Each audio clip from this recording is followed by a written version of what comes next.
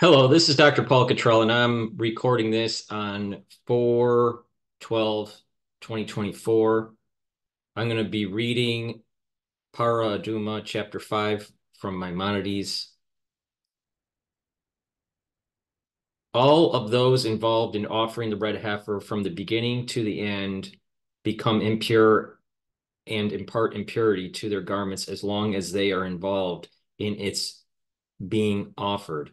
This concept is derived as follows.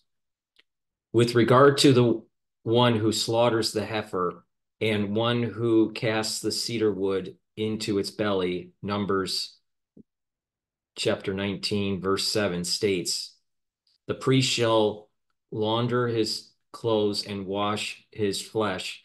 And with regard to the one who burns it, Ibid, verse 8 states, the one who burns it shall launder his clothes. And Ibid 10 states, the one who gathers the ashes of the heifer shall launder.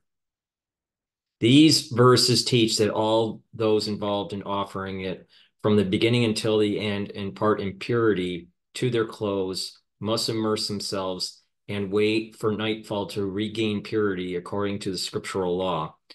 One who guards the heifer at the time it is being offered imparts impurity to his garments according to the rabbinic law. This is a decree lest he move one of its limbs.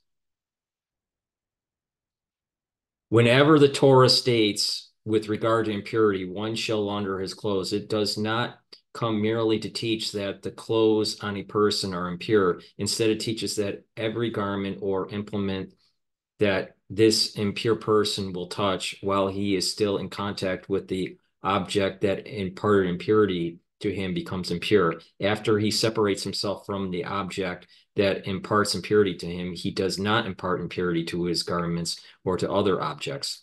What is implied? A person who carries an animal carcass imparts impurity to the clothes he is wearing and to any implement he touches as long as he is carrying it they are considered as a first degree derivative of impurity.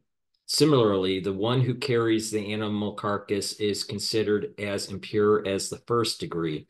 If he cease contact with the object that imparted ritual impurity, casting away the animal carcass, he remains impure to the first degree as before. If, however, he touches an implement or a garment, he does not impart impurity to it, for a derivative of ritual impurity does not impart impurity to implements as we explained in the beginning of this text. Similarly, I'm sorry, similar laws apply to all types of impurity analogous to that imparted by an animal carcass. Similarly, with regard to all those involved in the offering, the red heifer, if they touch a garment or an implement at the time they are slaughtering or burning the heifer, it becomes impure. After such an individual cease the task involved with it, however, even though he has not yet immersed, he does not impart impurity to an implement that he touches because he is merely a derivative impurity.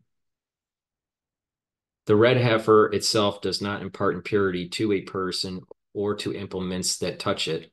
It is only those involved in its offering who become impure must immerse themselves and impart impurity to their garments as long as they are involved in its offering. When does the above apply? When the red heifer was burnt as prescribed, if, however, it was disqualified, those involved in offering it are pure. If a disqualifying factor occurred during its slaughter, it does not cause a person's garments to become impure. If a disqualifying factor factor occurs during its sprinkling of the blood, those who were involved with its offering before it was disqualified impart impurity to their garments. Those involved after its disqualification do not impart impurity to their garments. When the collection of its ashes were completed, anyone who who is involved with it for example, with the division of its ashes or with setting them aside for safekeeping or who touches it is pure. These principles do not apply to the red heifer alone, but also to all the sin offerings of bulls and goats that are burnt.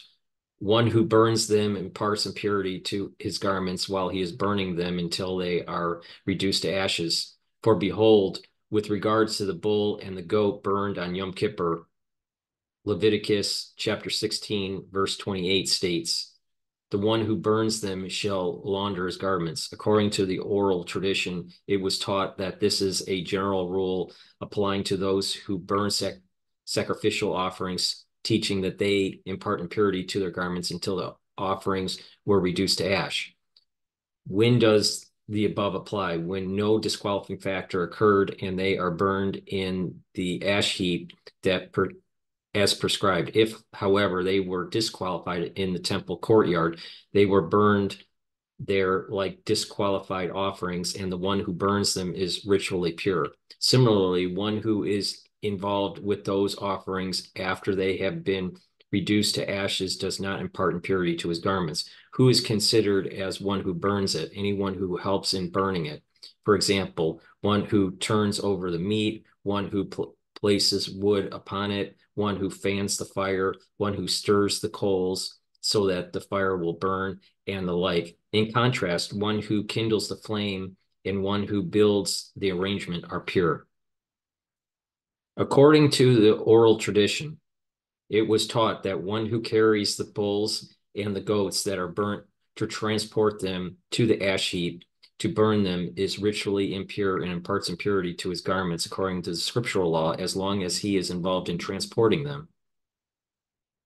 To regain purity, he is required to immerse himself in a mikvah and wait until nightfall, like the one who sends the goat to uh, the latter imparts impurity to all the garments and the implements that he touches that are on him throughout the time he is involved in sending the goat to its destination.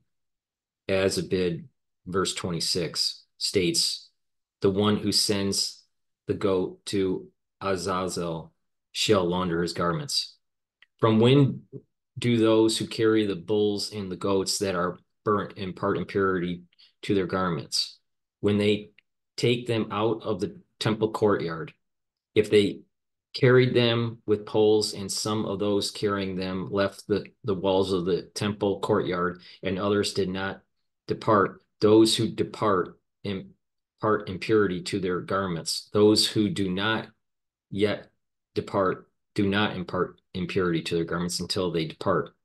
If they depart and then return to the the temple courtyard and transfer the carcass to others, the others who carry them in the temple courtyard are pure until they take them out. If a person who's standing outside the courtyard and are pulling the poles on which the carcass are hanging from the courtyard after they were returned there, he is considered as being impure of doubtful status since the sacrificial animals have already been taken outside and the one pulling them are standing outside. When does the person who sends the goat to Az Azal, Azazel impart impurity to his garments? From the time he departs Jerusalem until he pushes the goat off the cliff to Azazel. After he pushes it off the cliff, if he touches implements or garments, they are pure. When an entity, whether a person, an an implement, food, or liquid touches the bodies of the bulls and the goats that are burnt, even after they have been taken out of the temple courtyard, everything is pure. Similarly, if they were touched, if they would touch the goat sent to Azazel itself, while it is being carried there, they would be pure. For these sacrificial animals impart impurity only to one who is involved with carrying them as indicated in Leviticus chapter 16, verse 28. The one who burns them shall launder his garments. One who touches, by contrast, is pure. That concludes chapter 5 of Parah Adumah. Please subscribe to my channels. I have three channels on YouTube. I have Brighteon, BitChute, and Rumble. All the links are in the description of this video. Make sure you subscribe to all six channels. Also, if you could help support my work, please donate on my website. It's the-studio-reykjavik.com. You can donate through Stripe, PayPal, or buy me a coffee. on the homepage of the website at the very bottom. In addition, you can help support my work by being a paid member on my Patreon channel. That way, you are helping support my news coverage. Thank you for listening and thank you for your continued support.